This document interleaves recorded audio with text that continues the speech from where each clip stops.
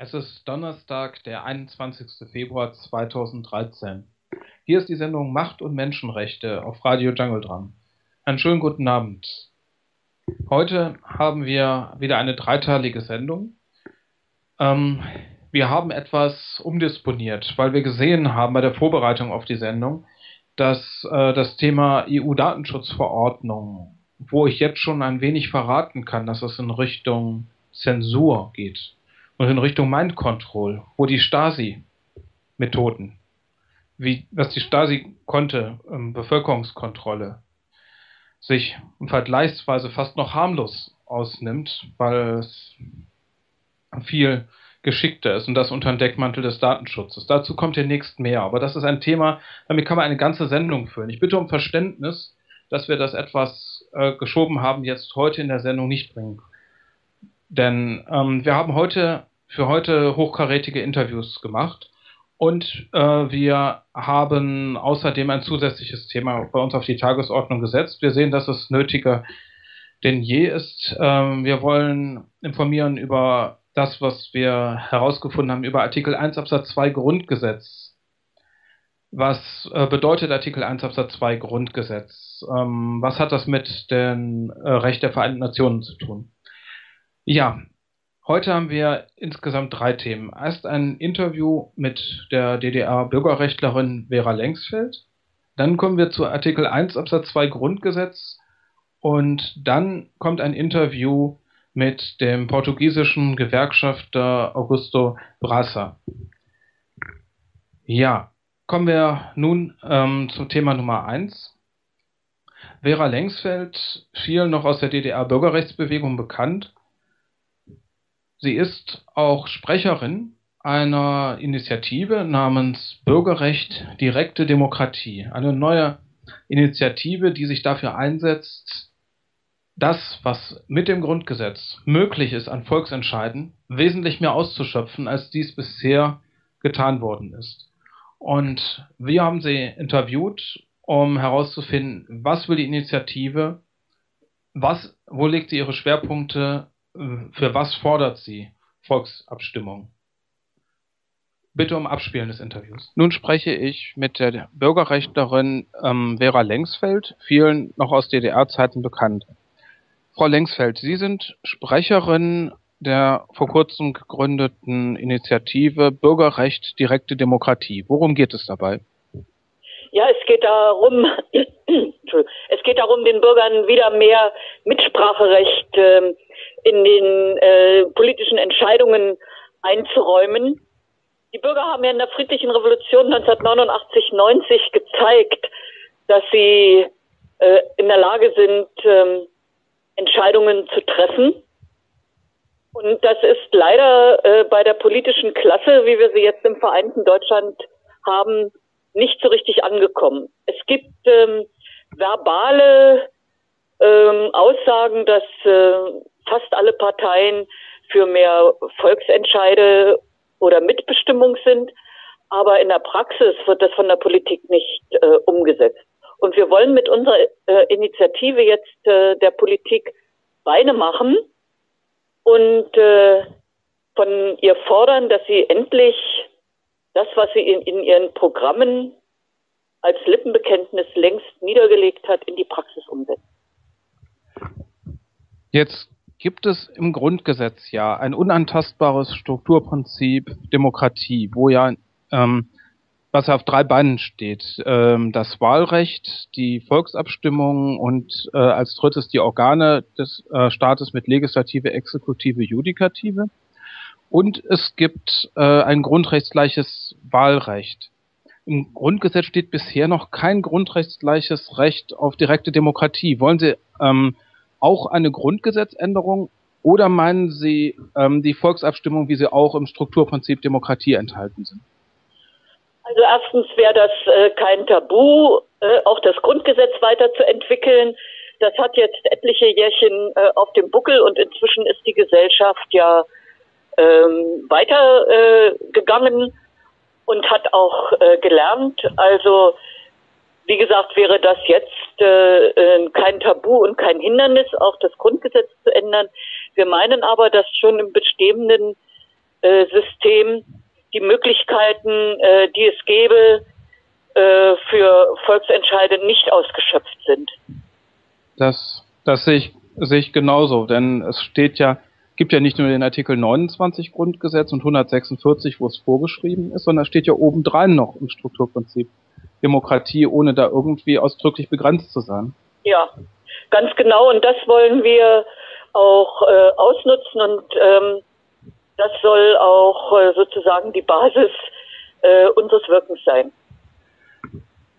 Sie legen einen Schwerpunkt an obligatorischen ähm, Referenten, wenn es um Grundgesetzänderungen und ähm, um Übertragung von Souveränitätsrechten geht. Ähm, Worauf denken Sie, wenn es um Übertragung von Souveränitätsrechten geht? Geht es da ausschließlich um die EU und die Verträge äh, um die EU herum oder geht es auch um andere völkerrechtliche Organisationen? Nein, also erstmal geht es uns äh, um Einflussnahme auf die äh, EU-Politik. Da erleben wir ja jetzt äh, beinahe täglich, dass ähm, Souveränitätsrechte an die EU übertragen werden. Und zwar nicht mal an ein gewähltes Organ der EU übertragen werden, sondern ähm, an äh, Kommissare, an den Rat der Kommissare, äh, der nicht äh, gewählt ist, sondern von den Regierungen eingesetzt wurde, weil er nicht gewählt ist, auch nicht rechenschaftspflichtig ist und ähm, eine Zentralmacht bisher, also eine äh, unkontrollierte Zentralmacht darstellt, die wir ablehnen. Und ähm, es geht uns darum, dass ähm, erstmal ins öffentliche Bewusstsein zu rücken, dass ähm, die europäischen Staaten, aber auch wir in Deutschland zum Beispiel äh, die Haushaltssouveränität an äh, die EU abgeben, an einen sogenannten Rat äh, der Gouverneure, bestehend aus den Finanzministern, auch wieder nicht gewählt, sondern eingesetzt, nicht rechenschaftspflichtig. Das äh, ist keine ist keine gute Entwicklung und da wollen wir korrigierend eingreifen. Das heißt, ähm, Sie wollen dann wahrscheinlich auch, dass solche völkerrechtlichen Verträge rund um die EU herum, wie der Fiskalpakt, wie der EFSF-Rahmenvertrag und der ESM-Vertrag, auch einer Volksabstimmung unterworfen werden müssen. Also auf jeden Fall äh, muss äh, die muss das Volk gefragt werden, wenn äh, so große äh, Summen bewegt werden, wenn äh, so tiefgreifende Entscheidungen getroffen werden, die geeignet sind, äh, die ganze äh, bisherige Struktur des äh, Gemeinschaftslebens in unserem Lande zu verändern. Hm. Das äh, muss, da muss unbedingt äh, der muss unbedingt das Volk ein Wörtchen mitzureden haben. Zusätzlich zu den obligatorischen Referenten fordern Sie ja auch ein äh, optionales Referendum, ähm, wenn 500.000 Leute das fordern. Wie kann man da sicherstellen, 500.000 Unterschriften sind ja auch nicht wenig, dass da nicht in der Zwischenzeit vollendete Tatsachen geschaffen werden? Ja, äh, sicher sein kann man nie. Man äh, kann sich nur äh, nach besten Kräften bemühen, äh, die Entwicklungen in die gewünschte Richtung äh, zu schieben manchen erscheint dieses, diese Stufe auch äh, viel zu hoch. Darüber kann man diskutieren. Aber äh, wir wollten natürlich auch äh, eine gewisse Grenze einziehen, dass äh, nicht äh, eine Minderheit äh, Willkürentscheidungen treffen kann, sondern wir möchten schon, dass solche großen Entscheidungen von einer äh, relativ breiten Mehrheit getragen werden. Hm. Und wenn es jetzt nicht um das optionale Referendum geht, ähm, sondern um Volksbegehren, also wenn eine Initiative aus dem Volk kommt, mhm. Da ähm, ist das Quorum auf 5% angesetzt. Welche Themen, glauben Sie, bewegen die Menschen so sehr, dass man 5% der Wahlberechtigten äh, bewegen kann, ein äh, Volksbegehren zu unterschreiben? Ich bin überzeugt, dass die Frage äh, der Entwicklung, wie Europa zukünftig aussehen soll, äh, die Menschen schon sehr bewegt und dass das äh, mehr als fünf Prozent auch ähm, an die Wahlurne bringen würde oder äh, dazu bringen würde, sich äh, für eine äh, Mitbestimmung in so einer wichtigen Frage einzusetzen. Aber es gibt äh, jede Menge andere äh, Grundsä Fragen von grundsätzlicher Entwicklung. Also wie gehen wir äh, mit äh, dem Haushalt und wollen wir trotz der äh, trotz der Pleiten, die sich vor unserem äh, Auge abspielen, zum Beispiel dem völlig missglückten Flughafenbau in Berlin, der Elbphilharmonie äh, in Hamburg, wirklich äh, weiter zusehen, dass äh, der Staat als Baumeister äh, nicht nur versagt, sondern Volksvermögen verschwendet. Also das äh, stelle ich mir vor, könnte eine Frage sein, äh, die die Leute bewegt.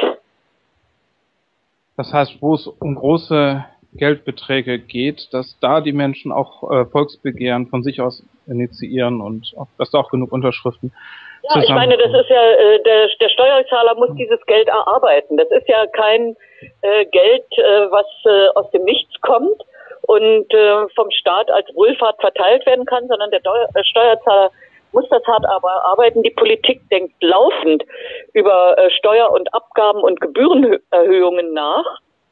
Da ähm, muss dann auch äh, der Steuerzahler mitentscheiden können, zum Beispiel, ob nicht Steuergeldverschwendung genauso sanktioniert werden muss wie Steuerhinterziehung. Das heißt, eine Initiative in der Richtung könnte auch etwas sein, was viele, was, worüber man Volksentscheide machen kann. Ähm, ja, davon bin ich überzeugt. Sie haben ähm, in Ihrem Konzept fordern Sie auch das Panaschieren. Ähm, warum ist das Panaschieren wichtig? Ja, damit ähm, nicht äh, die Parteien im engen Zirkel über äh, die Aufstellung von Parlamentskandidaten äh, allein bestimmen, sondern äh, dass äh, auch der Bürger in der Wahlurne die Möglichkeit hat, da mitzuentscheiden. Das heißt, wenn man, ganz wichtig. wenn man eine bestimmte Partei wählen möchte, aber sagt, aber das kann ich nur verantworten, wenn ich den aus der Liste streiche, wenn man bestimmten Kandidaten auf keinen Fall im Parlament haben will, aber ja, oder einen anderen dafür, der von der Partei ganz nach hinten gesetzt wurde. Das heißt, man kann mit dem Panaschieren auch Kandidaten nach vorne ziehen. Ja, natürlich.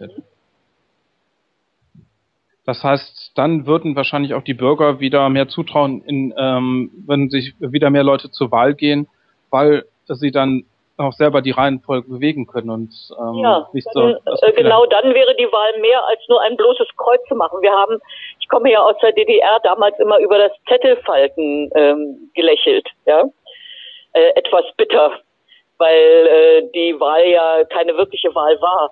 Wir haben doch jetzt äh, die Situation, dass wir zwar zwischen verschiedenen Parteien und verschiedenen Kandidaten wählen können auf dem Wahlzettel, aber dass äh, allein die Parteien im engsten Zirkel darüber entscheiden, wer auf diesem Wahlzettel an aussichtsreicher Stelle steht oder nicht. Und äh, da sind wir der Meinung, dass die Wähler mitentscheiden können sollen.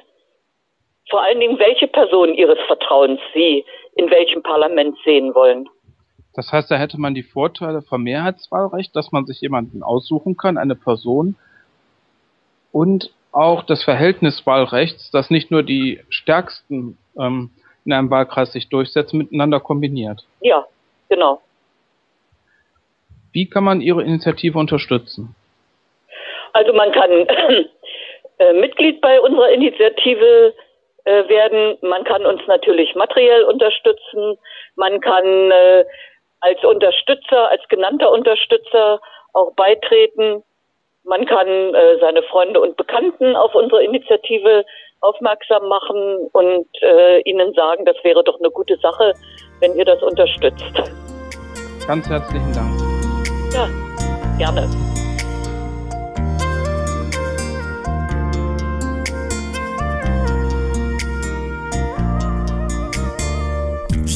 Un pion sur l'échiquier, le risque a pris place. Mais quelle importance.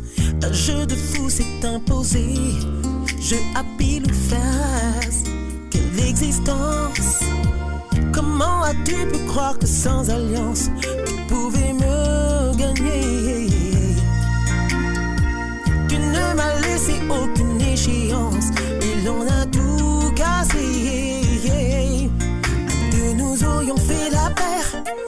jeu d'expert. Oui, mais tu me perds. Deux ensemble, mais solitaire. Simple jeu d'impair. Oui, mais tu me perds. Moi, je veux y croire.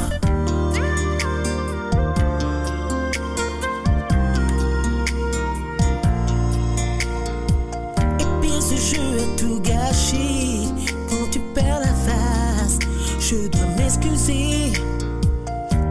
Cache-cache à supporter. Juste pour un baiser qu'on va regretter. De cœur brisé, tu dis qu'on se ressemble. Non, rien de solidaire. La belle affaire. De cœur brisé, tu dis quand on s'assemble.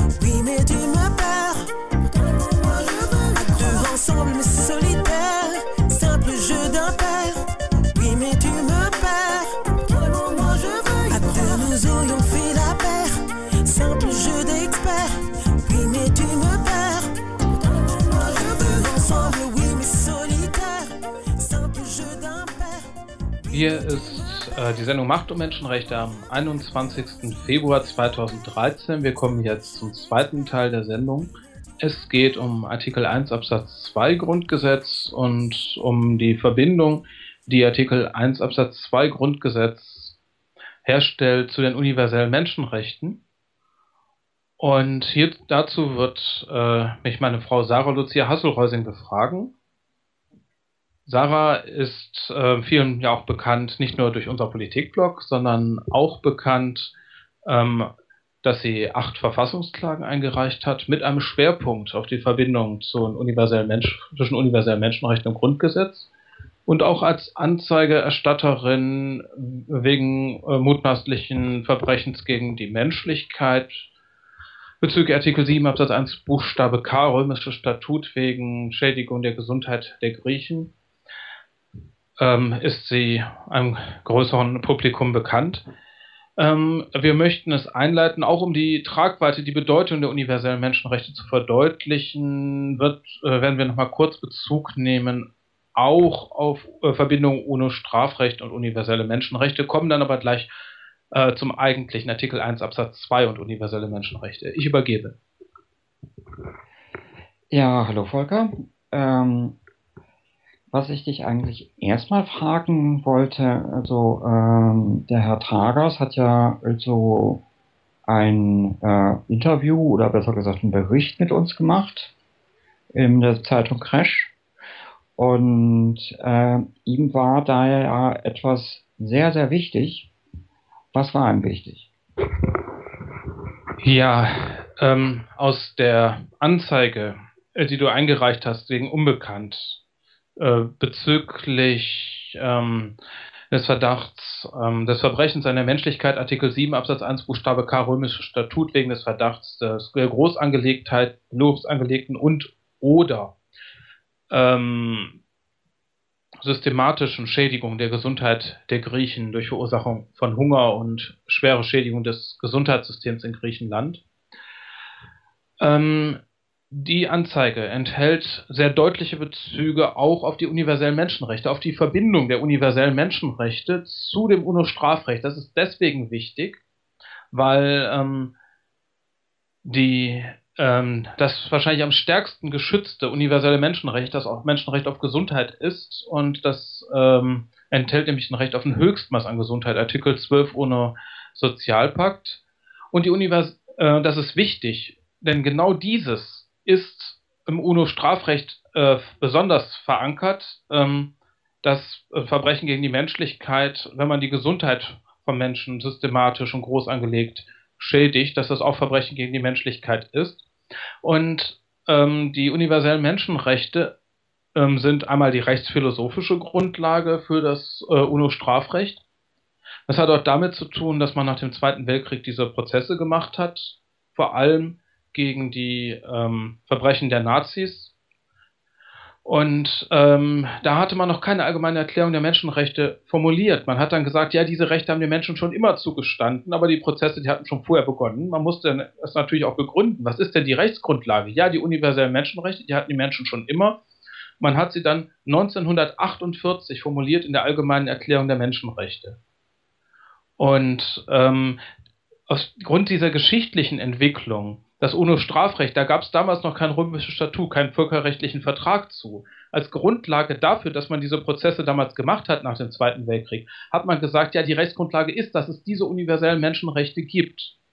Und deswegen, gerade deswegen ist das UNO-Strafrecht auch in dem Lichte auszulegen. Auch diese Tragweite haben die universellen Menschenrechte. Und das war Herrn Tragers wichtig, die universellen Menschenrechte zu zeigen, den Auszug aus der Anzeige, ähm, der sich bezieht auf die universellen Menschenrechte, das UNO-Strafrecht im Sinne auch der universellen Menschenrechte auszulegen. Ja, ihm war ja nicht nur so äh, das wichtig, sondern auch so, da gab es ja so was ganz, ganz Spezielles, äh, wo sich ja auch im Parlamentarischen Rat Dr. Seeborn drauf bezogen hat. Ja, Deutschland hatte natürlich im Zweiten Weltkrieg und der Zeit davor im gesamten Dritten Reich weltweit in präzedenzloser Form an Vertrauen eingebüßt. Nach der Diktatur von der IG Farben und ähm, der Marionetten der Nazis hatte Deutsch, war Deutschland weltweit äh, diskreditiert. Und, Deutsch, und Dr. Seebohm äh, war es wichtig, dass Deutschland wieder Vertrauen gewinnt. Das Ganze hatte, denke ich, auch eine Vorgeschichte. Ähm, bereits bevor das Grundgesetz gemacht wurde, das wurde ja, fing ja an 1948, dass man es entwarf, gab es 1946 eine Rede von US-Außenminister Burns in Stuttgart. Das war der Außenminister noch, ähm, soweit ich mich entsinne, war noch unter Roosevelt, glaube ich. Ähm, auf jeden Fall hat Burns gesagt, die Deutschen sollen, äh, 6.9.1946 war es, die Deutschen sollen nur dann wieder zu Wohlstand kommen, wenn die Deutschen sich verpflichten, er meinte rechtsverbindlich verpflichten, auf den Frieden und auf die Menschenrechte. Und genau das ist dann später auch im Grundgesetz verankert worden, in Artikel 1 Absatz 2 Grundgesetz.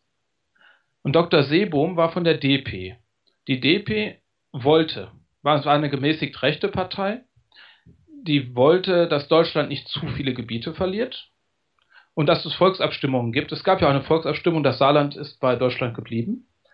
Und ähm, es war ihm wichtig, um das überhaupt zu ermöglichen, dass Deutschland wieder Vertrauen gewinnt. Und deswegen hat er ganz im Sinne von Burns, auch wenn er ihn dort nicht wörtlich zitiert, gesagt, dass es wichtig ist, dass Deutschland sich verpflichtet, auf Menschenrechte und auf Frieden, damit das Ausland Deutschland wieder vertrauen kann. Und das ist in diesen Artikel 1 Absatz 2 Grundgesetz reingekommen. Das war eine Plenarrede. Er war zwar nicht im Grundsatzausschuss, der an den Formulierungen gestrickt hat, aber es war eine Plenarrede und das war relativ kurz, bevor über das Grundgesetz 1949 beschlossen wurde.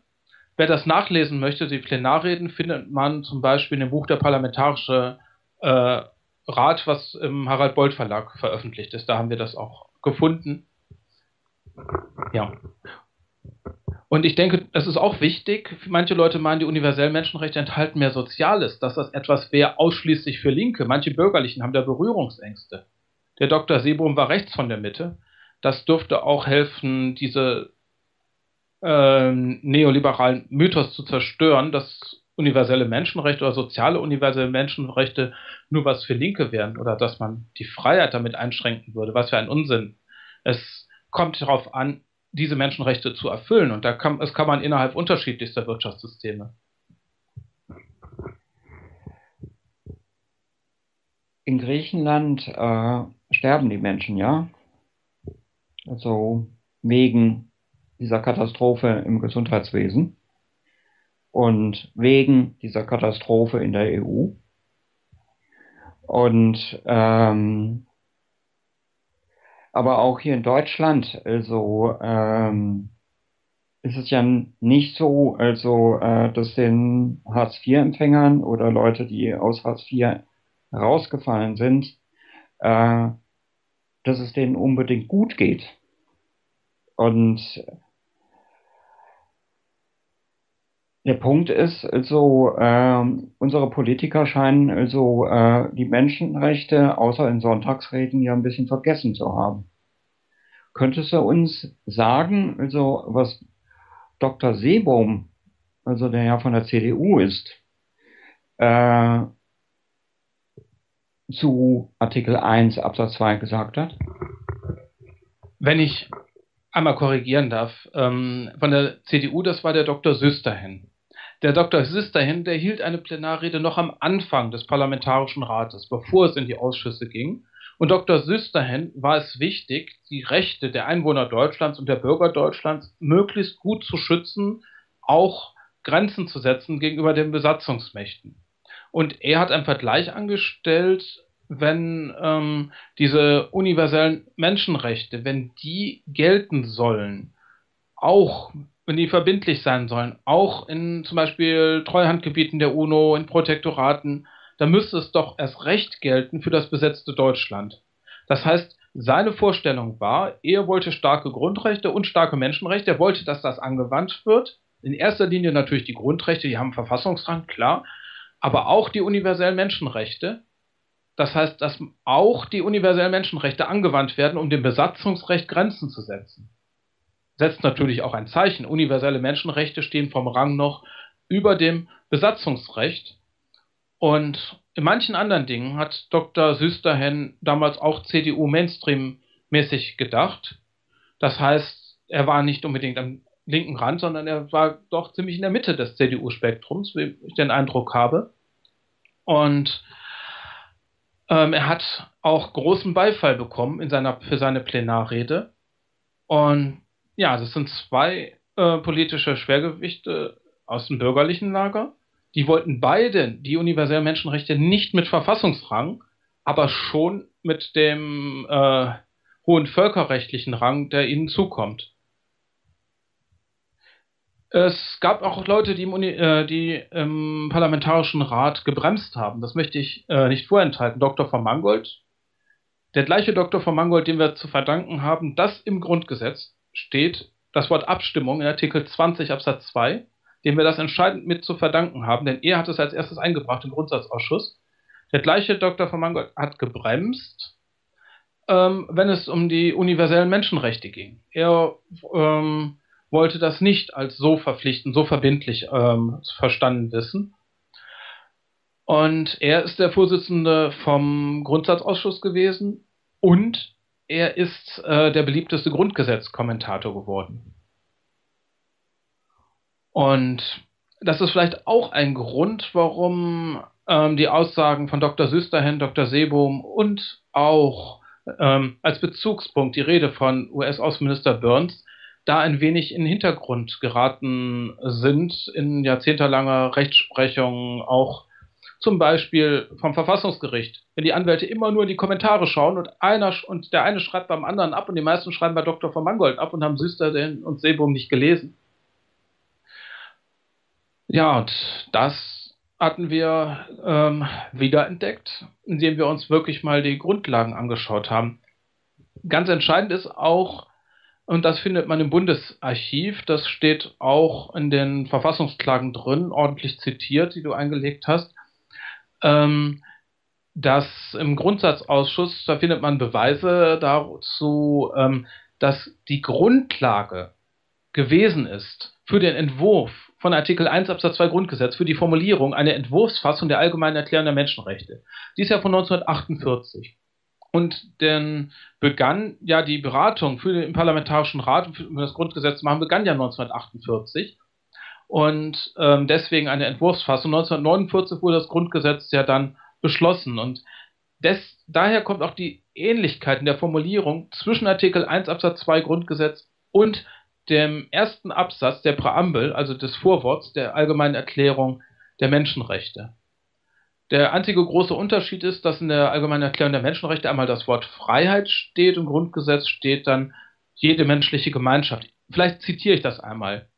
Darum bekennt sich das deutsche Volk zu unveräußerlichen und unverletzlichen Menschenrechten als Grundlage jeder menschlichen Gemeinschaft des Friedens und der Gerechtigkeit in der Welt. Und das steht in Artikel 1. Innerhalb der Ewigkeitsgarantie ist diese Verlinkung zu den universellen Menschenrechten. Ja, Volker, äh, was bedeutet das denn? Sind wir jetzt nun geschützt? Sind die Griechen geschützt? Ja, diese, ähm, es kommt drauf an. Also einmal ist natürlich das materiellrechtliche. Ich könnte jetzt auf die bisherige Rechtsprechung des Bundesverfassungsgerichts eingehen. Ich könnte eingehen auf bestimmte hm, Lobbynetzwerke, die natürlich auch einen gewissen Einfluss haben. Ich könnte auch eingehen darauf, welche ähm, materiellen äh, universellen Menschenrechte besonders von Bedeutung sind. Ähm, ja, worauf soll ich zuerst eingehen? Ich würde mal sagen, so äh, sind die Griechen jetzt geschützt? Wie sieht es mit den Deutschen aus?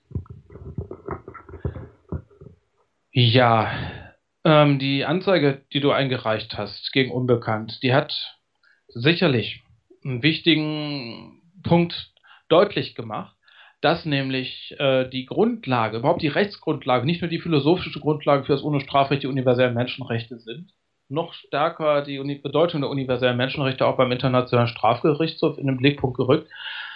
Was wir seitdem erleben durften, seit der Einreichung, war, dass bestimmte Leute äh, versuchen, ähm, den Eindruck zu erwecken, vielleicht stimmt es ja auch, man wird sehen, das muss man den Ermittlungen dort überlassen, ähm, dass sie nicht vorsätzlich die Griechen geschädigt haben, vielleicht fahrlässig gehandelt hätten. Das wird man sehen. Es ist ja auch bewusst eine Anzeige gegen Unbekannt. Ähm, was man auch gesehen hat, ist, dass man vorsichtiger wird, um nicht noch einen Fall Griechenland zu erzeugen. Man merkt, äh, es gab Meldungen, dass äh, der internationale Währungsfonds bremst, dass die Auflagen gegenüber Portugal und Irland nicht noch mehr verschärft werden ich denke mal, um nicht dort auch noch eine derartige humanitäre Katastrophe im Gesundheitswesen zu erzeugen, damit nicht auch dort von dort noch Leute nach Den Haag gehen, aus Portugal und aus Irland. Und ja, wie viele Menschen schon gestorben sind wegen der Verschlechterung des Gesundheitswesens in Irland und in Portugal, da liegen uns äh, noch keine Zahlen vor. Der IWF scheint ja da zu bremsen, damit es dort nicht auch so schlimm wird wie in Griechenland. Ähm, andere haben bisher noch weniger äh, reagiert. Es gibt Menschen, die zurückgetreten sind, aber irgendwie haben wir den Eindruck, bisher hat es am meisten den Portugiesen und den Iren geholfen, dass das die Tempo der Verschlechterung dort gebremst wurde. Aber ob man in wirklich schon den Griechen ernsthaft geholfen hat und nicht nur Symbolpolitik macht, daran habe ich Zweifel. Ähm, ja, okay, aber äh, mich interessiert, äh, müssten die Griechen nicht äh, geschützt sein durch diese Verpflichtung. Und das gleiche gilt natürlich auch so äh, für Hartz-IV-Empfänger und Leute, die aus Hartz IV rausgefallen sind. Ja, ich denke, ähm, es geht ja hier, in Griechenland geht es ja darum, dass man ganz viel Sparmaßnahmen macht, um möglichst die Gläubiger möglichst vollumfänglich bezahlen zu können, soweit das geht. Und ähm, was da völlig außer Acht gelassen wird, ist die Unteilbarkeit der Menschenrechte, dass alle Menschenrechte gleich viel wert sind. Es sei, äh, die, dass die alle gleichrangig miteinander sind, die universellen Menschenrechte. Und wenn da irgendwo Höchstmaß steht, dann meint man da auch Höchstmaß. Und bei Gesundheit steht Höchstmaß. Ausgerechnet da spart man aber Griechenland am meisten kaputt. Das heißt, das ist eine ganz, ganz schwere Menschenrechtsverletzung. Und ähm, der Punkt ist ja noch eben der subjektive Tatbestand. Mit welchem Grad von Vorsatz oder Fahrlässigkeit macht man das? Ab wann ist man vielleicht in einen Vorsatz hineingeraten, was vielleicht am Anfang noch irgendwann noch Fahrlässigkeit war? Das wird alles noch zu klären sein, aber man müsste doch schon wissen, so viel völkerrechtlichen Sachverstand kann man Leuten, die internationale Mechanismen entwerfen, ja wohl abverlangen, dass sie wissen, dass es ein Höchstrecht auf ein Höchstmaß an Gesundheit gibt. In Griechenland wird gehungert. Ein Menschenrecht auf Nahrung ist auch weltweit bekannt. Und es sollte auch bekannt sein, welche Menschenrechtsverträge Griechenland ratifiziert hat. Es gibt auch Menschenrecht auf soziale Sicherheit, inklusive Sozialversicherung. Ich denke, das sind die universellen Menschenrechte, wo hier die Musik spielt, die hier entscheidend dafür sind, für auch für die Lebenserwartung der Menschen und wo man halt nicht sparen darf. Von wegen geschützt. Äh, es ist ähm, ihren auch in Deutschland so. Das deutsche Verfassungsgericht hat in mindestens drei Urteilen die universellen Menschenrechte angewandt. Ähm, da mag mit hineinspielen nicht nur die materiellrechtliche Lage, sondern auch, wer, ähm, ob man sie gerade gebraucht hat. Ähm, als es darum ging, bestimmte Rechtsakte der DDR aufzuarbeiten, da hat man dann Rechtsgrundlagen gesucht, die sowohl die BRD in der BRD gegolten haben, als auch in der DDR. Grundgesetz hatte die DDR nicht. Und EU-Recht hat die DDR nicht. Und dann hat man geschaut, ja, wo findet sich denn was? Dann hat man die universellen Menschenrechte angewendet. Da gab es zum Beispiel, als es um Bodenreform ging, im Urteil Bodenreform 3, man findet ganz viele der alten Verfassungsgerichtsurteile auf servat.unibe.ch, also ist, ähm, an der Uni Bern, haben die alte Urteile vom Verfassungsgericht gesammelt. Und den Rand Nummer 96, da äh, bestätigt da das äh, Verfassungsgericht, ähm, dass die zum Jus Cogens gehören, also praktisch zur höchsten Kategorie des Völkerrechts, die universellen Menschenrechte, und gibt auch die Verbindung zu Artikel 1 Absatz 2 Grundgesetz an. Leider liegt uns der damalige Klagetext nicht vor, sodass wir nicht wissen, mit welcher Begründung die damaligen Verfassungskläger sich darauf bezogen haben oder ob die Richter von sich aus den Artikel 1 Absatz 2 gesehen haben. Mauerschützen 3 ist auch interessant. Da geht es zwar nicht sehr um den Rang, falls es des Kogens ist, aber da ist, ähm, da geht das Verfassungsgericht darauf ein, äh, das Recht auf Leben, wie es im UNO-Zivilpakt steht. Und bei dem Recht auf Leben, äh, da sind sie eingegangen auf die allgemeine Erklärung der Menschenrechte, haben die angewandt und den Zivilpakt. Nochmal ein Zeichen. Allgemeine Erklärung der Menschenrechte ist auch verbindlich, nicht nur die Menschenrechtsverträge der UNO. Und ganz frisch, ähm, 18.07.2012, das neueste Urteil. Erster Senat Bundesverfassungsgericht. Da ging es darum, dass Asylbewerber nicht ungerechtfertigt weniger Geld kriegen sollen als Sozialhilfeempfänger und Arbeitslosengeld II-Empfänger. Nur wenn es eine vernünftige sachliche Begründung gibt. Und da ging es dann um angemessenen Lebensstandard, Artikel 11 Sozialpakt und kulturelle Teilhabe, Artikel 15 Sozialpakt. Noch nicht das, wo es um das meiste, was das meiste Geld ausmacht, wie Gesundheit, Nahrung, und äh, soziale Sicherheit. Aber es, die haben ein Zeichen gesetzt. Die haben den Sozialpakt angewandt und die Kinderrechtskonvention. Beides Verträge auch mit ganz vielen sozialen Rechten der UNO. Und haben es ganz selbstverständlich äh, angewendet. Da hat äh, unter anderem sich auch das Deutsche Institut für Menschenrechte geäußert. Manchmal scheint das in Karlsruhe was herzumachen, ähm, wenn renommierte Institutionen sich äußern. Ja, renommierte Institutionen, Institutionen ja. Ähm, was bedeutet denn jetzt also äh, dieser Artikel 1 Absatz 2 im Grundgesetz? äh, haben wir jetzt also äh, noch mehr Grundrechte dadurch? Oder äh, ich habe gehört, also äh, in Lateinamerika gibt es das ja, äh, dass also lateinamerikanische Staaten also äh, die universellen Menschenrechte äh, als Verfassungsrecht haben. Ja, da müsste ich ähm, die Antwort zweiteilen. Das eine ist, äh, wir haben nicht noch mehr Grundrechte. Das sieht man eindeutig in der Geschichte vom Parlamentarischen Rat. Ähm, es gab mehrere Vorstöße für noch mehr Grundrechte. Die KPD wollte noch mehr Grundrechte, als es selbst die UNO hat. Da ist sie nicht mit durchgekommen. Die KPD wollte auch ausdrücklich ähm, ein Grundrecht auf Nahrung mit Grundrechtsrang, ist abgelehnt worden. Die Zentrumspartei ähm, was so praktisch die Linkeren innerhalb des konservativen Spektrums ist, ähm, die wollten mehr soziale Grundrechte, als wir heute im Grundgesetz haben. Also nicht nur Sozialstaatsgebot, wo nicht drin steht, ja, wie sozial ist es denn? Und äh, Menschenwürde, die ja auch einen wichtigen ähm, sozialen Teil hat, äh, Familie und Streikrecht, sondern mehr soziale Grundrechte. Sind sie nicht mit durchgekommen. Friedrich Naumann hat dort ein Brief hingeschrieben, der war wohl eher sozialer Teil der FDP der war aber nicht selber im Parlamentarischen Rat. Die FDP-Vertreter im Parlamentarischen Rat, die dort drin waren, wollten das auch eher nicht. Das heißt, das war, wollte nur eine Minderheit, aber ähm, sehr unterschiedlicher Richtung. Und was aber eine Mehrheit gefunden hat, ist der Artikel 1 Absatz 2, das Wichtige ist. Dieser Artikel 1 Absatz 2 steht in der Ewigkeitsgarantie. Gesamte Artikel 1 und gesamte Artikel 20 sind über Artikel 79 Absatz 3 Grundgesetz vor einschränkenden Änderungen geschützt. Die kann man höchstens noch ausbauen, aber nicht einschränken. Und so wie in Artikel 20 ja später auch, auch das Grundrecht, gleiche Recht auf Widerspruch reingekommen ist, das ausgebaut worden ist. Und ähm, der Artikel 1 Absatz 2 wird oft auch zitiert ähm, als Rechtsgrundlage mit neben Artikel 1 Absatz 3 für die Rechtsstaatlichkeit im materiellen Sinne. Und Rechtsstaatlichkeit ist doch auch unantastbar, ist auch ein Strukturprinzip. Und ähm, also dieses Verbindungsstück ist unantastbar, aber nicht die universellen Menschenrechte. Die sind von ihrem Wesensgehalt her geschützt und sie haben keinen Grundgesetzrang. Man kann sich das vielleicht so vorstellen wie eine Verbindung, wie ein Link. Dieser Link, an dem kann man, darf man nichts machen. Solange es das Grundgesetz gibt, ist dieser Link da.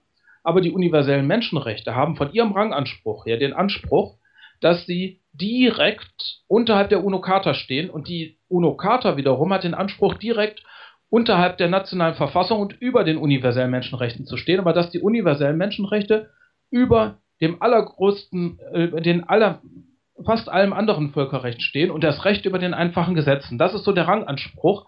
Und 1 Absatz 2 will auch und schützt auch diesen Ranganspruch, den die universellen Menschenrechte von sich aus haben aber gibt ihnen diesen Ranganspruch, äh, nicht, gibt ihnen nicht selber äh, einen Ranganspruch mit Grundgesetzrang, sondern schützt den Anspruch, den sie haben. Heißt das jetzt so, äh, die sind anwendbar, die müssen angewendet werden? Ja, ja, Artikel 1 Absatz 2 Grundgesetz ist ein Anwendungsgebot und ist auch ein Herabstufungsverbot. Sie müssen angewandt werden mit dem Ranganspruch, den sie haben, als Teil des Juskogens.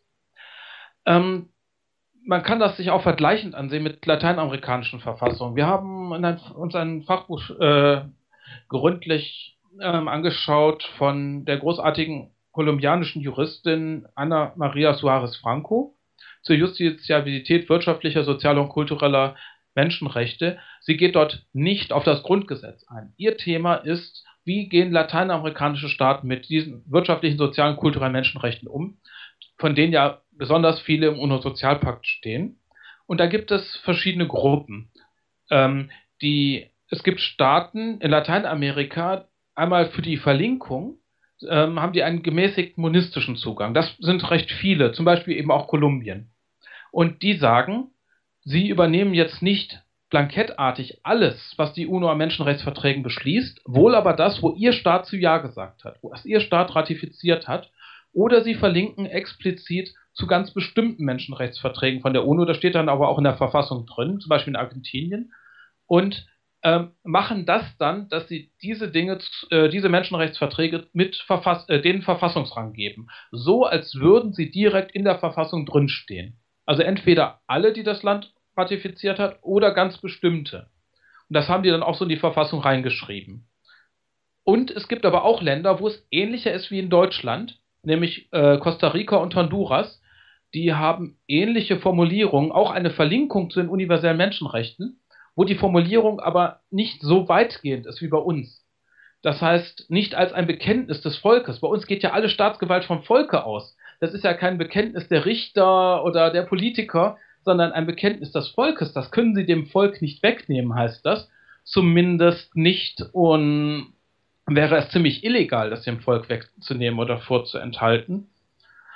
Ähm, und diese Formulierung geht weiter als bei den Verfassungen von Honduras und Costa Rica, die da ähm, auch zu den universellen Menschenrechten verlinken. Nur es bedeutet eben nicht wie bei den meisten lateinamerikanischen Verfassungen, dass die, die Verlinkung damit verbunden wäre, den von Deutschland ratifizierten universellen Menschenrechten Verfassungsrang zu geben.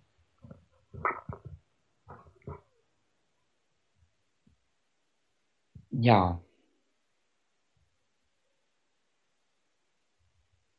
die Bedeutung dieser Menschenrechte scheint ja für Europa im Augenblick so äh, eine Gratwanderung zu sein zwischen den Leuten, also ähm, die am liebsten alle in Armut, in Hunger und in den Tod schicken würden. Und diesen Menschenrechten, die also 1946 also vom Burns angesprochen worden sind. Und Deutschland ist ja da also auch nicht ganz, also, also die Vertretung von Deutschland, also die Regierung, ist ja da auch nicht so ganz, also nicht involviert, also sie ist involviert. Ähm, was hat Burns damals nochmal genau gesagt? Also die genaue Formulierung, die weiß ich nicht auswendig, kann man aber zum Teil nachlesen in den Verfassungsklagen vom 30.06.2012. Ähm, er hat sinngemäß gesagt, dass Deutschland dann wieder zu Wohlstand kommen sollte, wenn es sich rechtsverbindlich verpflichtet auf Frieden und auf Menschenrechte. Das heißt, solange Außenminister Burns dann noch was zu sagen hatte. Und ich denke mal, die gesamte damalige US-Regierung noch was zu sagen hatte. Da sollte Deutschland erst einmal zeigen, dass es sich auf den Frieden rechtsverbindlich verpflichtet und auf die Menschenrechte. Und er hat nicht nur von Grundrechten gesprochen. Und ähm, also Grundrechte sind die Bürgerrechte und Menschenrechte, die in einer Verfassung stehen oder im Grundgesetz stehen ähm, das Friedensgebot in Artikel 1 Absatz 2 Grundgesetz, wo das deutsche äh, Volk sich zu diesen Menschenrechten bekennt, den universellen, die Grundlage jeder menschlichen Gemeinschaft des Friedens und der Gerechtigkeit in der Welt sind. Und da steht ja Frieden. Das ist vom Bundesverfassungsgericht anerkannt worden. Ähm, Im Lissabon-Urteil vom 30.06.2009. Da hat das Verfassungsgericht ähm, gesagt, dass auch durch das EU-Recht das Angriffskriegsverbot nicht umgangen werden darf. Und die Grundlage, dass sie das sagen konnten, ist, weil innerhalb der Ewigkeitsgarantie das Wort Frieden steht. Sie sprechen da nicht nur vom Angriffskriegsverbot, was noch bekannter ist, Artikel 26 Grundgesetz, sondern vom Friedensgebot. Und das ist Artikel 1 Absatz 2. Das heißt, sie haben es anerkannt, sie haben auch in Randnummer 96 vom Bodenreform 3 die Artikel 1 Absatz 2 Grundgesetz irgendwie als Verbindung anerkannt zu den universellen Menschenrechten, dass sie Jus Cogens sind, haben es da aber noch nicht richtig ausgeführt. Das heißt, sie haben es schon gemacht. Dass sie finden es in ihren eigenen Archiven. Da ist kein Funke Gutgläubigkeit mehr. Sie wissen, dass die anzuwenden sind. Und der erste Senat hat es ja auch am 18.07.2012 auch universelle, soziale universelle Menschenrechte angewandt. Das ist dem Verfassungsgericht seit Jahren bekannt, dass diese universellen Menschenrechte ähm, anzuwenden sind. Ja. Ich habe noch eine Frage. Äh, da steht extern und intern. Äh, das heißt also, äh, für Deutschland und für die Deutschen sind diese Menschenrechte anzuwenden. Und extern heißt also, äh, wenn Deutschland also äh, an Auflagen beteiligt ist, zum Beispiel, äh, dann sind diese Menschenrechte, die da in der Ewigkeitsgarantie stehen, für äh, die äh, Staaten, die also äh, von den Auflagen betroffen sind, anzuwenden, ja? Ja, auf jeden Fall. Also es gibt da verschiedene Abstufungen. Wie stark greift die Verpflichtung? Ähm, einmal gibt es achten oder respektieren, schützen und gewährleisten und einmal gibt es intern und extern. Das heißt, es ist so gemeint, je mehr Kontrolle, je mehr Einfluss ein Staat hat auf die Verwirklichung der Menschenrechte, desto mehr ist er gefordert, desto mehr ist er verpflichtet, das auch zu nutzen.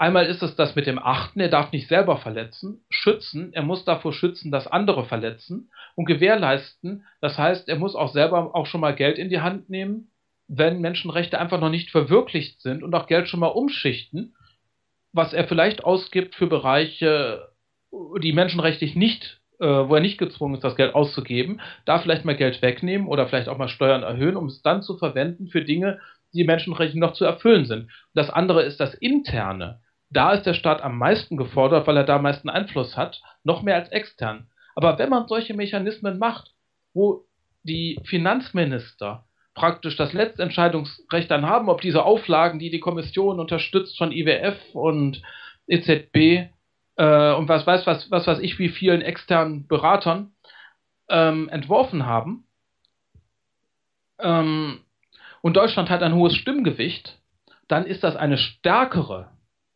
externe Verpflichtung als ähm, außerhalb solcher Mechanismen, wo Deutschland vielleicht international, vielleicht in anderen Foren, äh, in anderen Entscheidungsgremien weniger Gewicht hat. Das sind ja Mechanismen, wo man Staaten zwingt, Gesetze zu ändern, Sparmaßnahmen zu machen.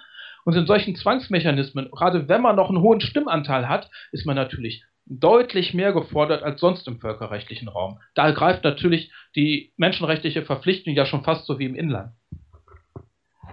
Ähm, ja, Tragas hat ja eine Klage so äh, äh, vor dem ICC gemacht, so wie ich auch, gegen Unbekannt.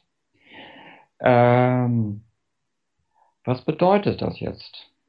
Also, was bedeutet das für Deutschland? Was es für Deutschland bedeutet, ja, ich denke, da gibt es verschiedene, verschiedene Antworten, die man da geben kann.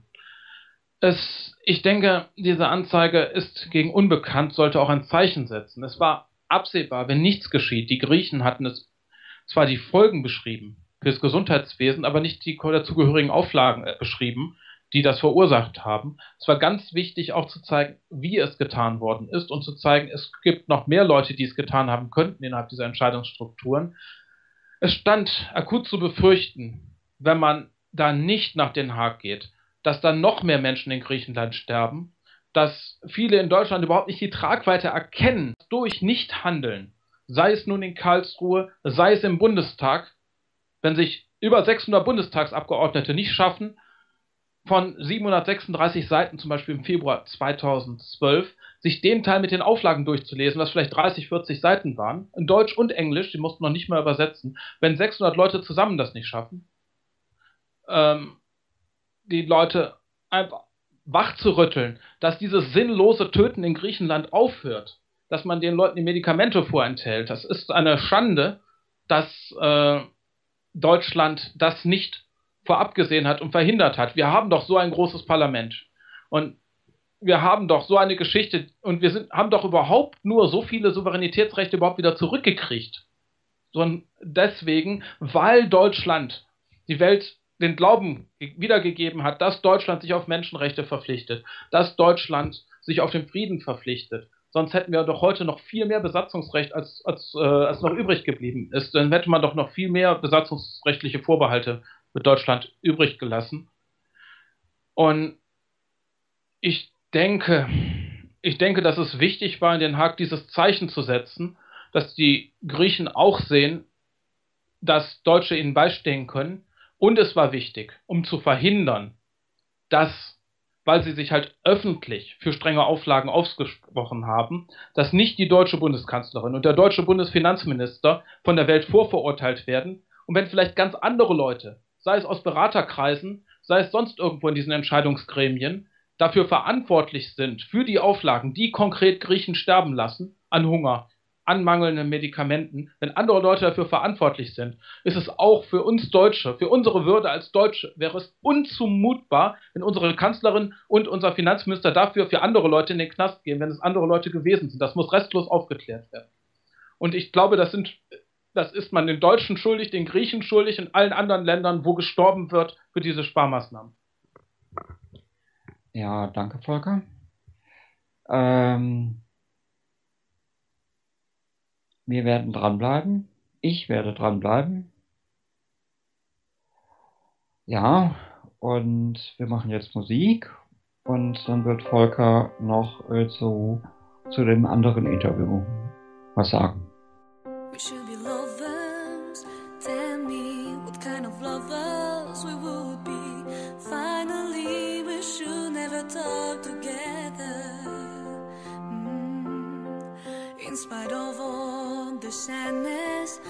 My tears, my heart resists itself. As a storm which will come my window. You've hurt me like no one did before. Did before. Don't think I need some compassion. I drop my own competition. By the way, you were great opponent.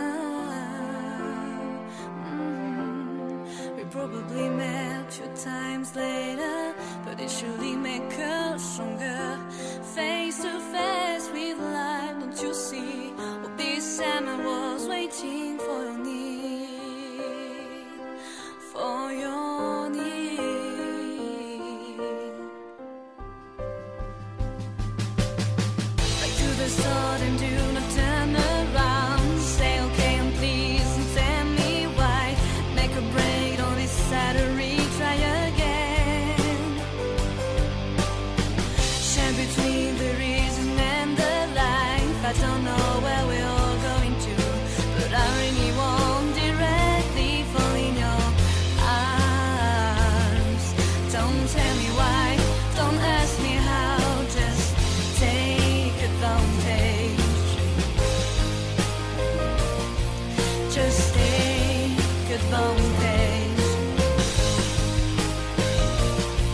Just take you someday that I don't love you, you will know that this is a to something strong is is my veins. Uh-huh. See, we're back to the beginning. It's just a vicious circle we build here. Don't be afraid at the price we have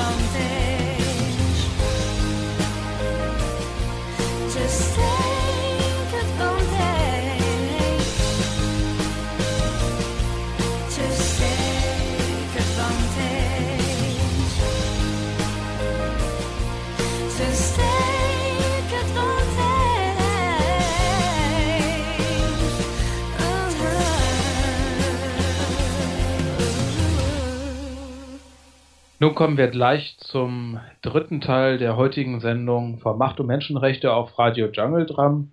Heute ist der 21. Februar 2013. Und vorher möchte ich noch ein paar einführende äh, Worte finden. Portugal ist eines der Länder, was einen Kredit aus dem sogenannten Euro-Rettung schon bekommen hat. Ähm, Portugal hat Geld bekommen einmal von EFSM, da hat ja erst äh, Irland Geld bekommen und was übrig war, haben die Portugiesen bekommen. Und äh, außerdem auch aus EFSF, also praktisch im Rahmen zweier Mechanismen macht die Troika den Portugiesen Auflagen. Es gab große Proteste, auch als unsere deutsche Bundeskanzlerin Dr. Angela Merkel Portugal besucht hat. Auch in Portugal gibt es drastische Einsparungen im Gesundheitswesen, ist die Arbeitslosigkeit gestiegen. Auch in Portugal hungern Menschen. Und auch in Portugal sterben Menschen, weil sie ihre gewohnte medizinische Versorgung nicht bekommen wie zuvor. Meine Frau und ich waren im Jahre 2001 in Portugal, haben dort schon mit Menschen gesprochen es war schon im Jahre 2001 so, wenn man ins Krankenhaus ging, dass man sich auch selber darum kümmern musste, wer einen jetzt wäscht, wer einen pflegt etc. Es gab damals schon Probleme, es gab damals schon Zuzahlungen. Aber die, es ist eine ganz neue Qualität, wenn Leute schon aus der Mittelschicht nicht mehr ihre medizinische Versorgung bekommen, wenn es nicht nur die Ärmsten sind, die nicht mehr alles Notwendige bekommen. Und damals war es noch üblich zumindest, dass jeder seine medizinische Behandlung zumindest bekommt. Und die Zuzahlungen, die es schon gab, sind, seitdem Portugal auch seine Kredite bekommen hat, erhöht worden. In Portugal gibt es allerdings gleich mehrere sehr kraftvolle Zeichen der Hoffnung. Nicht nur die Massendemonstrationen, es gab äh, im Jahr 2012 ein Verfassungsgerichtsurteil. Und dieses Verfassungsgerichtsurteil hat Lohnkürzungen untersagt. Da hatten Gewerkschaften geklagt. Und ähm, da sind bestimmte Lohnkürzungen untersagt worden im Jahre 2012. Und jetzt gibt es aktuell äh, wieder Fälle, die vom Verfassungsgericht sind, wieder Auflagen. Unter anderem ähm, hat der portugiesische Präsident eine Vorlage ans portugiesische Verfassungsgericht gemacht. Und ich habe vorab vor dieser Sendung dieses Interview gemacht. Wir haben es aufgezeichnet. Ähm, gesprochen habe ich mit ähm, Herrn Augusto Brasa. Herr Brasa ist für internationale Fragen zuständig bei dem großen portugiesischen äh, Dachverband ähm, CGTP. Das äh, findet man das deren Webseite unter cgtp.pt. Ist der äh, große, der linke portugiesische Dachverband. Und ich habe ihn zu den dortigen Verfassungsklagen und ähm, interviewt und ich habe ihn zur Position seiner Gewerkschaft interviewt, wie man die Finanzkrise lösen kann. Und ähm, ja, auch zur Situation. Was haben die Auflagen in Portugal angerichtet? Ähm, ja, die Tonqualität ist leider nicht, nicht perfekt geworden. Ähm, das lag aber an der, das lag leider an der Skype-Anstellung. Trotzdem denke ich, er sagt einige sehr deutliche und auch sehr wesentliche Dinge. Und ja, mit dem folgenden Interview möchte ich mich für heute von unseren Hörern verabschieden. Die nächste Sendung wird wieder am ersten Donnerstag im März sein. Schönen Abend noch und herzlichen Dank fürs Zuhören. Hier ist das Interview für unser Politikblog und für die Sendung Macht und Menschenrechte auf Radio Jungle Drum am 21. Februar 2013. Dieses Interview ist eine Aufzeichnung vom 20.02.2013. Mein Name ist Volker Reusing. Heute spreche ich mit Herrn Augusto Brasa vom Bundesvorstand der portugiesischen Dachgewerkschaft äh, CGTP.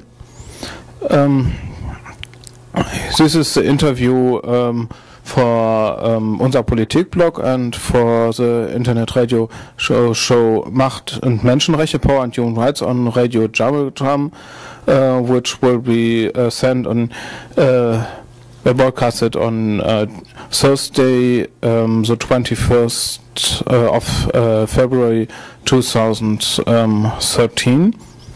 Um, today I speak with Mr. Augusto Brasa, who is a member of the board of the um, Portuguese trade union uh, CJTP. Um, Herr Brasa, welche Teile der Sparmaßnahmen sind von den Gewerkschaften ähm, angefochten worden? Welche Maßnahmen ähm, sind vom portugiesischen Verfassungsgericht als äh, verfassungswidrig festgestellt worden, wegen Verletzung welcher verfassungsmäßiger Rechte? Mr. Reiser, which parts of the austerity measures have been challenged by the trade unions? Which measures have been ruled as unconstitutional by the Portuguese uh, Constitutional Court for the violation of which constitutional rights? The, uh, measures, the, the uh, measures are being challenged by the, trade unions. Of, have been, all the measures are being proposed by Troika for football in last years. Since the beginning of 2008, the CTP never accepted the measures that are being proposed by Troika because we knew that measures will bring more sacrifice for people, for the workers, and we and today this is proof that our economy is being reduced every year. We, our salaries are being in stagnation. Our economy can't be developed because there are no investments in our domestic um, demand. So that means all the measures have been taken since 2008 until today has been approved by CGTP. Die Gewerkschaften wenden sich gegen alle Sparmaßnahmen seit 2008, weil diese Sparmaßnahmen den Arbeitnehmern immer neue Opfer abverlangen und äh, das Land immer mehr in die Rezession treiben.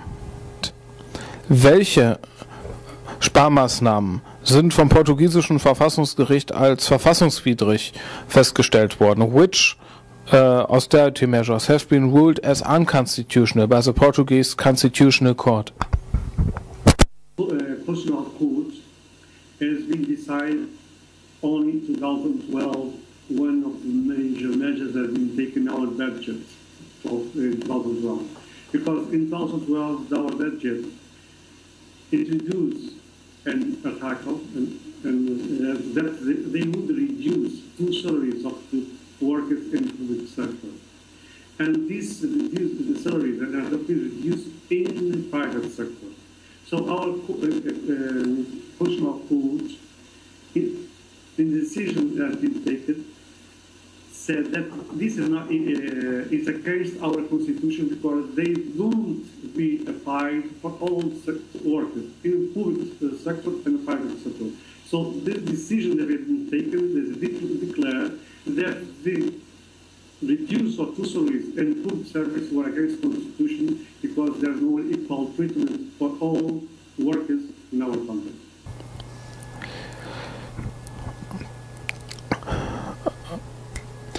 Ähm, die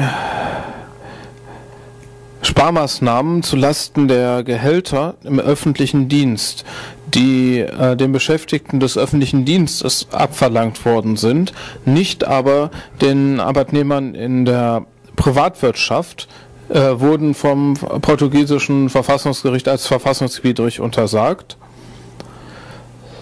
wegen der Ungleichbehandlung, weil ähm, dort den Arbeitnehmern im öffentlichen Dienst ähm, höhere Opfer abverlangt worden sind als äh, in der Privatwirtschaft. Deswegen ist äh, das als verfassungswidrig abgelehnt worden. Ähm, was wissen Sie über die Klage, welche seine Exzellenz der Präsident von Portugal beim portugiesischen Verfassungsgericht bezüglich der Sparmaßnahmen zum neuen Haushalt eingereicht hat? What do you know about the complaint which His Excellency, the President of Portugal, has filed as the Constitutional Court regarding the austerity measures of the new budget. Today, uh, in our Constitutional Court, there is a complaint in two different uh, areas. One put by our President that asked the Constitutional Court to see if it's the measures that are cutting the, the pensions of the retired workers are against constitution or not.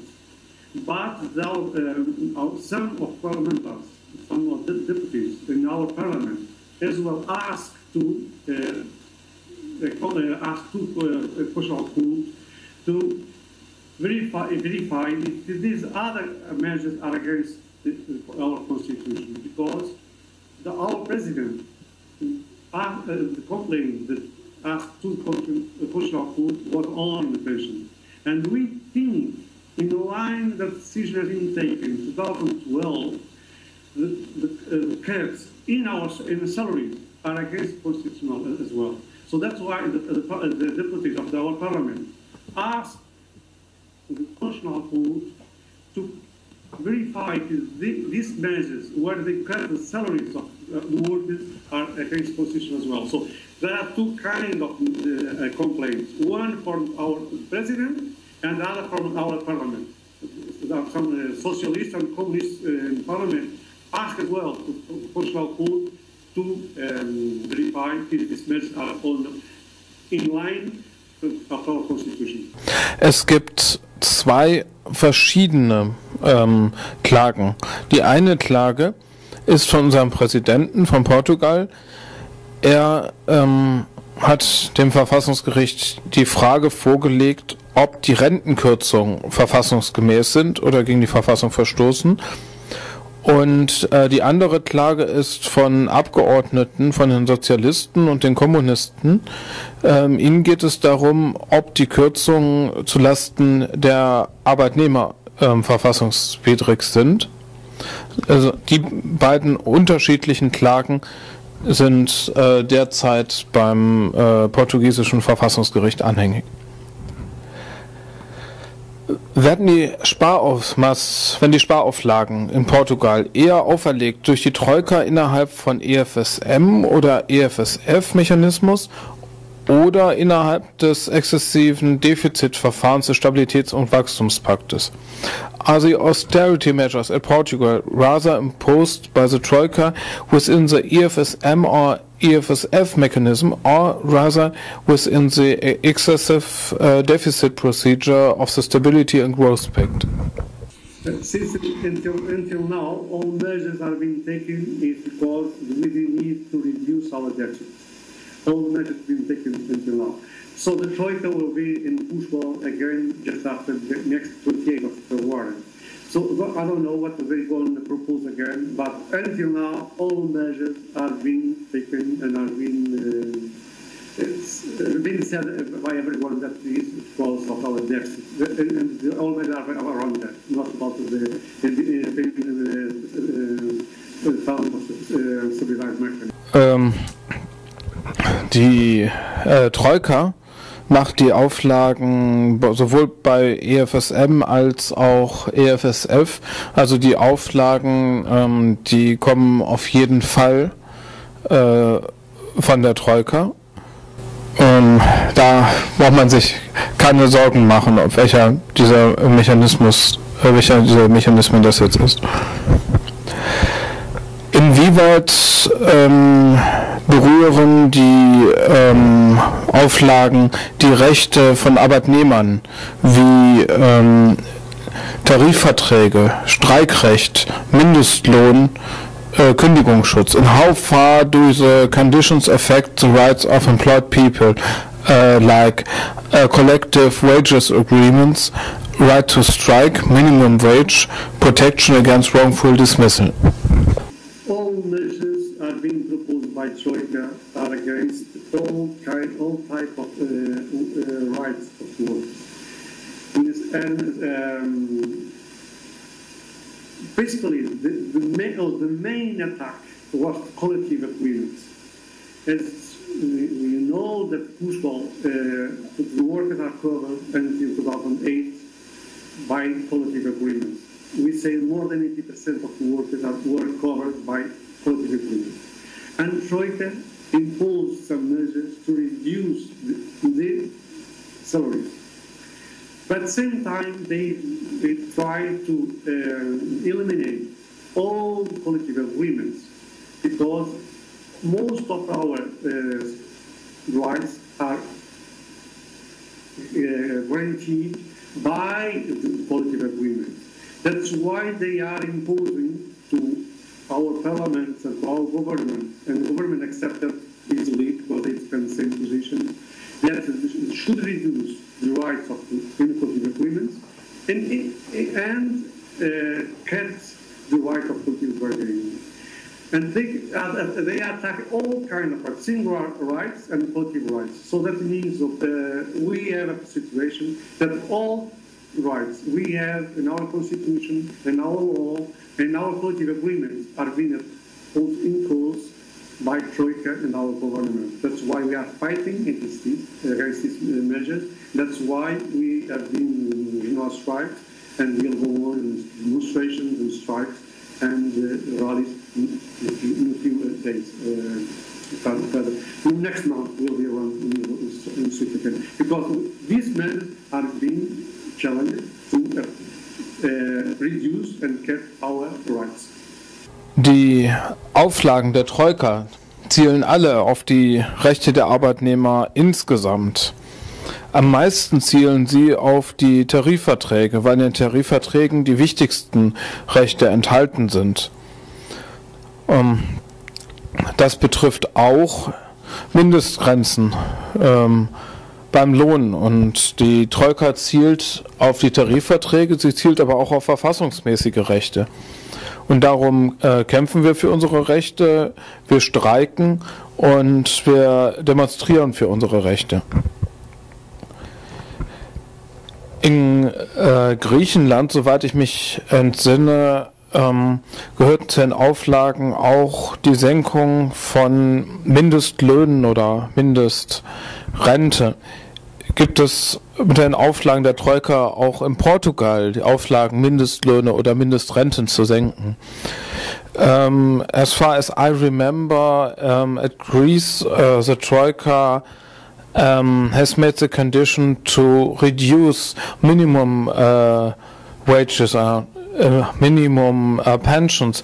Um, uh, such conditions also have such conditions also been made by the troika regarding Portugal.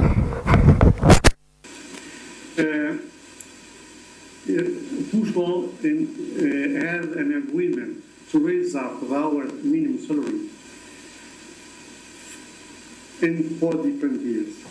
And less, uh, uh, in 2010, the minimum wage should raise to 500 euros. This was an agreement that was being held in a um, tripartite committee. By, by the, uh, position that is taken by Troika, improves that our business salaries shouldn't raise up, because, and Today we have an average of 485 euros per month, and the women set in 2010 should be raised to 500. And upon them, until now, our salaries are not grown as well because the, the, the Troika imposed that the agreements should not be allowed to increase, uh, increase the salaries of all general workers. So that means that since 2010, there is no growing in minimum salaries and minimum wages, and then pensions are affected as well, because only the minimum wages that about 300, 329 euros have been uh, raised up a little bit. But most of the pensions, salaries, and minimum salaries are not growing since 2010.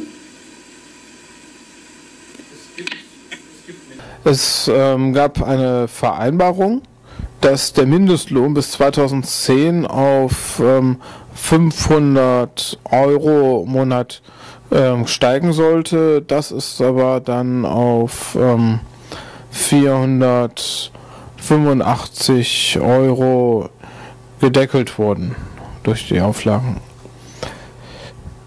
Ähm, was wissen Sie über die Entwicklung von Hunger und Arbeitslosigkeit in Portugal von der Zeit vor dem Kredit von EFSM bzw. EFSF 2011 und ähm, von da bis heute.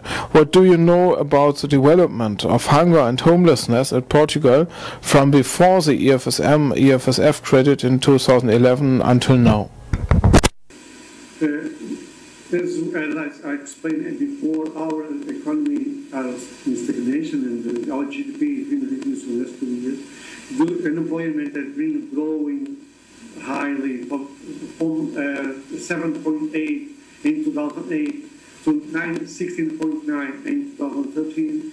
That means a lot, uh, more than 1 million 400 workers without jobs most of the, uh, a lot of our specialties and services are closing. Uh, the employment has, uh, increased every month. Principally in the youth, the, the employment is, is raised today for 40% of our youth are unemployed.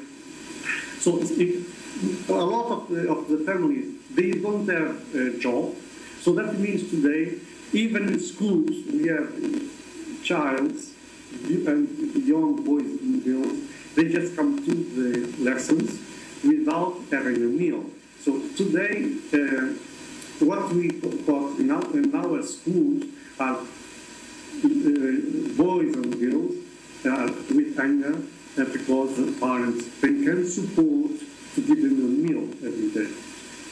Uh, even we can give, can give our own experience uh, in because CGTP has a school with young people and the people without um, uh, without any support to come to school raised from 8% to 27%. That means these all measures taken by Troika that are affecting our economy and at the same time they affect our economy, it affects families. And the principal people are uh, affected by this measure are the youth people and older people because the older people are living from the pensions and then the pensions are very, very, uh, very low, so they, they don't have other support for uh, other social um, uh, benefits are being kept as well. So that all these areas are affecting most of our youth as well people in active um, age, because if they don't get a job, because a lot of families are losing their jobs, and they don't have social benefits, that means they don't are able to have a. Die Arbeitslosigkeit ist von 2008 bis 2013 von 7,8 auf 16,9 Prozent gestiegen. Da sieht man, wie sich ähm, die Auflagen der Troika auf die Arbeitsplätze auswirken. Ähm, besonders schwer getroffen sind jüngere und ältere Menschen. Die Wirtschaft wird ebenso getroffen wie die Familien. Ähm, eine ja, größere Zahl an Kindern ähm, ist äh, in der Schule und hat bis dahin noch nichts gegessen und bekommt auch in der Schule keine Mahlzeiten. Inwieweit beinhalten die ähm, Auflagen die Privatisierung von sozial sensiblen ähm, Gegenständen oder Einrichtungen? Inwieweit werden Wasser oder vergleichbare Grundbedürfnisse von der Privatisierung betroffen? In how far do the conditions include the privatization of socially sensible assets or institutions? In how far uh, are water or comparable basic needs affected by privatization? In employment in Portugal in 78, in 2008 was 7, 7.8 percent. In 2013, uh, 16.9. So the employment increased from 2008 to 2013 uh, from 7.8 let's say 7.8 to uh, 17%. So, and this employment are affecting in uh, main uh, area of country uh, all family, father, mother, uh, grandmother, and sometimes even sons. So that's why today we have a lot of people with anger and they are losing their, their house because they can't pay the rent. Die äh, Privatisierungen beziehen sich auf viele Dinge wie Wasser, wie Gas, Energie, Gesundheit, ähm, ja, große kapitalistische äh, Firmen ähm, kaufen die äh, privatisierenden Betriebe auf, erhöhen Preise und einerseits sollen die ähm, Bürger höhere Preise zahlen, andererseits verlieren viele, viele ihre Arbeitsplätze und können genau dadurch die ähm, höheren Preise nicht bezahlen. Also auf, auf die Weise ähm, funktio funktioniert das nicht, die Leute höhere Preise zahlen zu lassen und ihnen gleichzeitig äh, Maßnahmen zu machen, wo sie ihre Arbeitsplätze verlieren. Inwieweit zielen äh, die Auflagen auch auf die Privatisierung äh, von hoheitlichen äh, staatlichen Behörden oder Gerichtshöfen in Portugal? In how far um, do the conditions also aim at the privatization uh, of sovereign uh, public uh, authorities or courts in Portugal? a lot of the, our public uh, um, main uh, service are um, provided by the public services. The, the Troika uh, has imposed to our people in our country and our government accept that because they are also they are seems in line that public service should be privatized. Let's say the telecommunications, the water, the health, the energy, the gas. So these all these sectors that were never uh, profits are today in the hands of the private sector. And these were imposed by the Troika. So that means uh, today the, uh, our uh, public service are in, in the hands of the private and big capitalists and because everything is being sold and not investing. We are selling our enterprise to, to the international investors but only the, to the uh, public service are, are getting uh, they give profit. So today uh, we have most of those public service in the hands of private sector, and these privatizations are imposed by Troika. At the same time, they privatize the public service and they raise up the prices. So people are losing jobs, they are losing our salaries, and paying more, more and more for the service they, they, they receive. So that's why we say that this, this way we can um, resolve problems we have in future.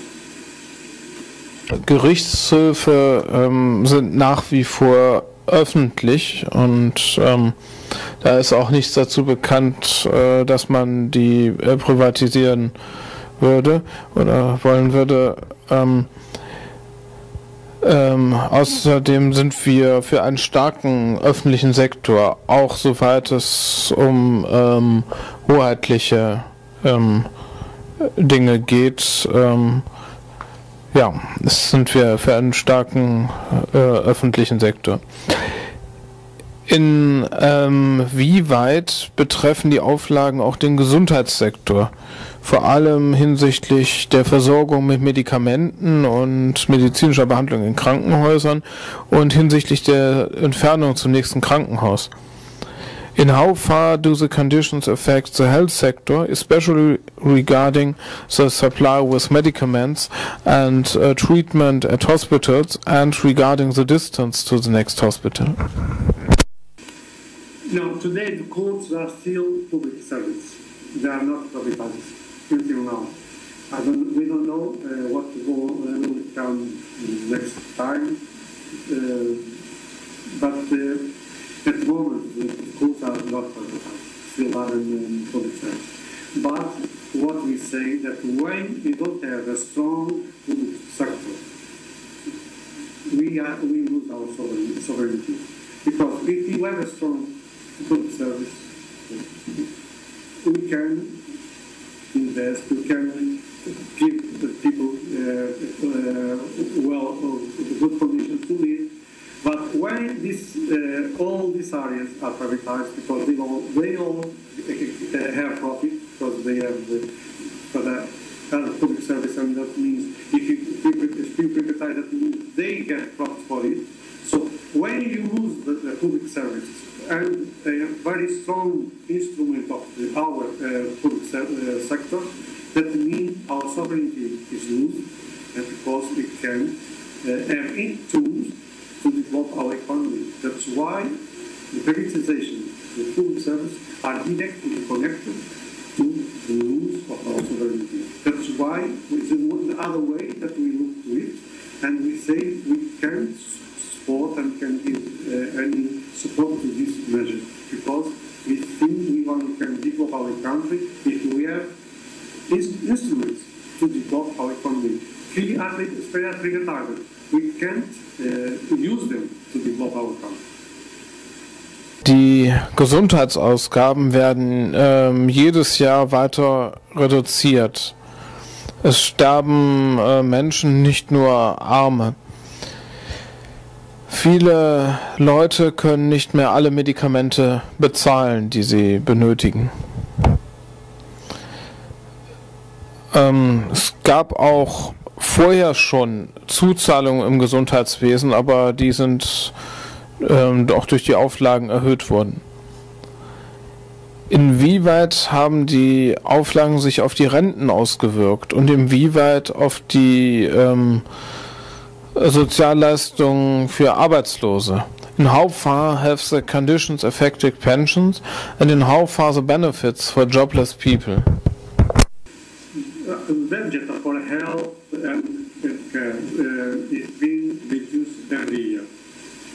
And today, there are a lot of people, they need medicaments and treatments in hospitals and are, are not able to, to get it.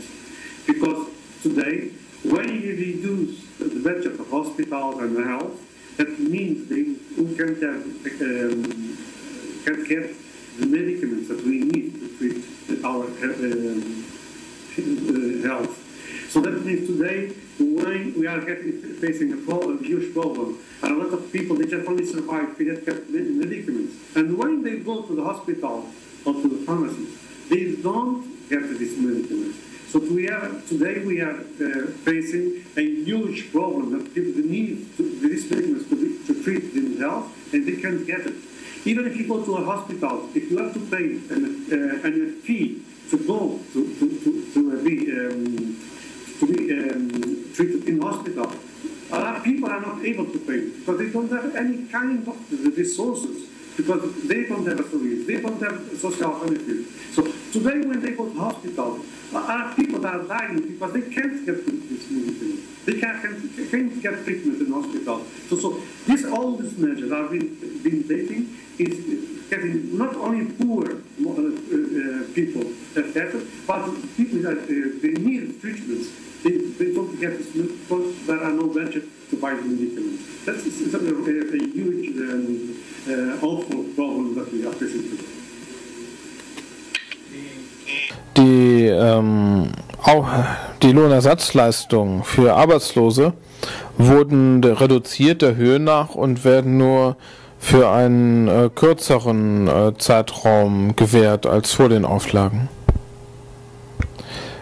Ähm, wie haben sich die Kreditauflagen ausgewirkt auf die Landwirtschaft und auf die Umwelt? How do the credit conditions affect agriculture and environment? Yes, because today if you go to, to a hospital, before you get treatment, you have to pay a certain amount. Uh, and sometimes you pay three or four or ten, thousand, ten uh, times more than you paid before 2008. And if you don't get any kind of social benefits or salary if you are unemployed, that means these people can, they can get they can get a treatment because they're not able to pay.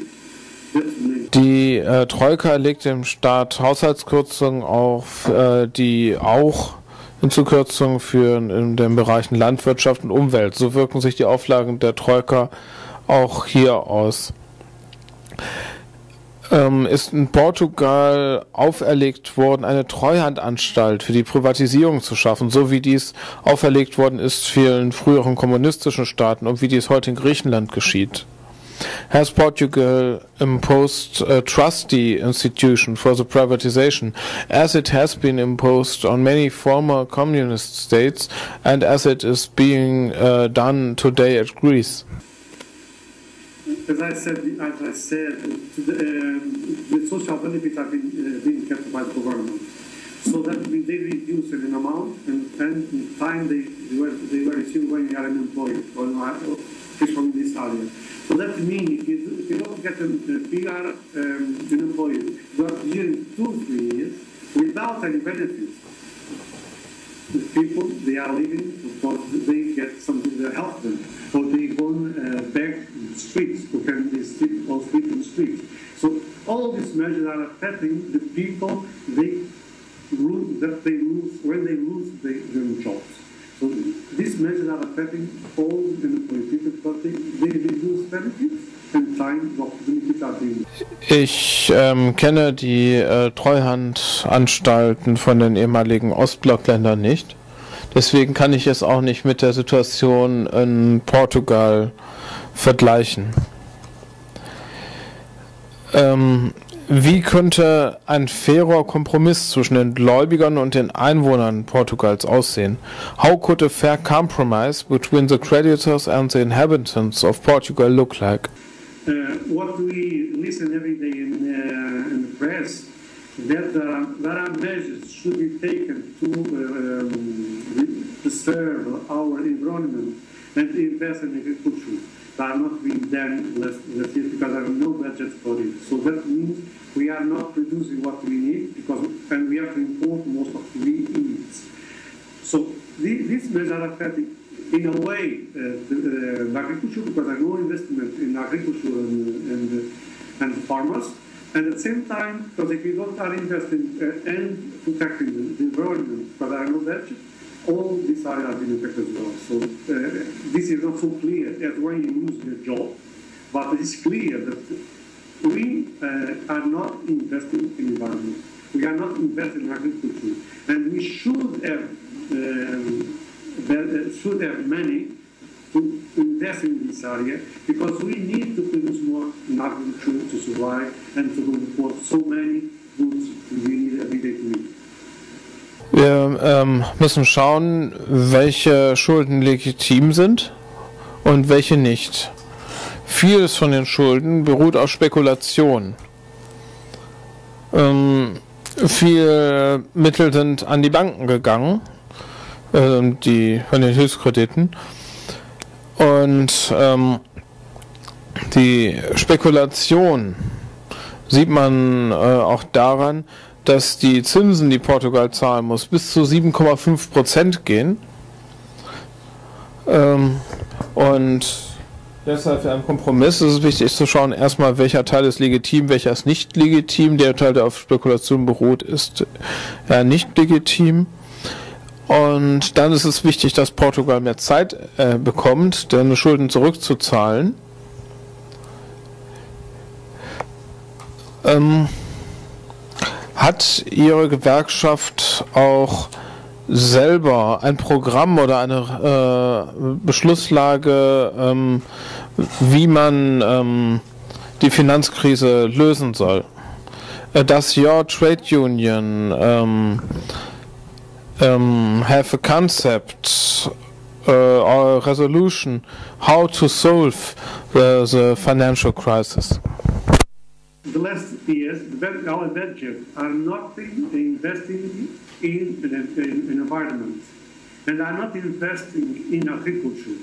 Because when you reduce a part of the budget in this area, that means we, you need uh, to invest in areas to protect the, the, the environment. environment. But if our budget are reduced, we can't invest we, our budget are, uh, uh, don't support the farmers to produce more food.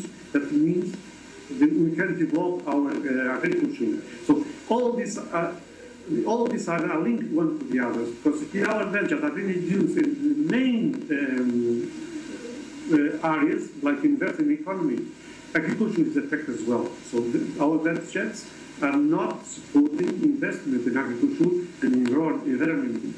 So that's why we say that all this uh, uh, situation of crisis affects all our structure, in economy, uh, economy, but in agriculture and environment as well, because that just doesn't support investment.